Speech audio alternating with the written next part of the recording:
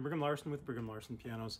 We just finished up this 1979 Steinway Grand, um, and it uh, it turned out awesome. It's a Model M, which is five and a half feet. They've been manufacturing this piano for a long, long time now, uh, and we we've done a lot of refurbishing work on this piano. That uh, there's there's kind of a mid-century Steinway experiment gone wrong that this piano was a part of, and we totally fixed all of that. So uh, Steinway, of course, has the has a an excellent reputation for being an excellent piano. They tried something in the I want to say the early 60s, something like that, where they where they put Teflon in bushings, and that caused significant problems, major problems, like clicking and knocking and parts to um, just really feel and sound clunky and terrible. This piano was a part of that because that lasted, that experiment lasted for a couple decades. and Steinway even warranted it for a while and then they discontinued that.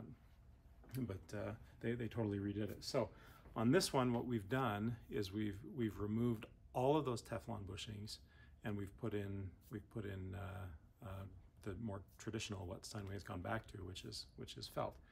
And then we've done a full refurbish on this piano, completely uh, cleaned, lubricated, aligned, regulated, just everything that, that the piano could possibly need to uh, to be in in excellent condition.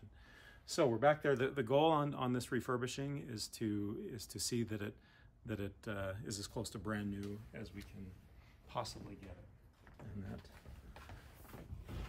is where this piano is. So let's let's hear it.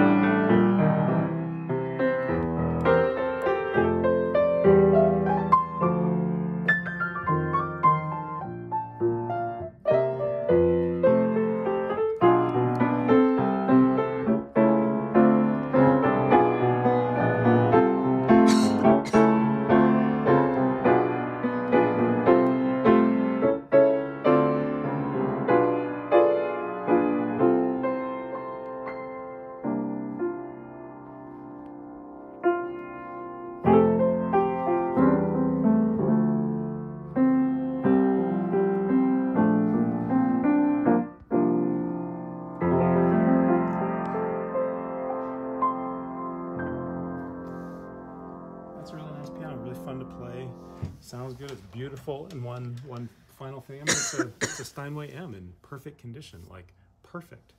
And uh, so, you know, how could you disparage that? The uh, one one last thing that I'll that I'll mention about this piano. This piano is actually in a in a video. this particular piano is in a in a video. You can you can check it out. Um, there is a a home in Park City on you can let's see how do you search for it? It's something like like 30 million dollar home or, or 50 million dollar home something like that. Crazy expensive home in park city and this particular piano was was in that home. Um, and it's and it's in that video. And it's ennis i think is his so if you do a search for like 30 million or 30 to 30 most expensive i think it, i think that's it i think it says like most expensive house in utah um, and you see the, the guy that's doing it is named Ennis. um, or something like that. Anyway, check that out. Kind of a cool little anecdote that doesn't really matter, but is kind of kind of a cool little thing.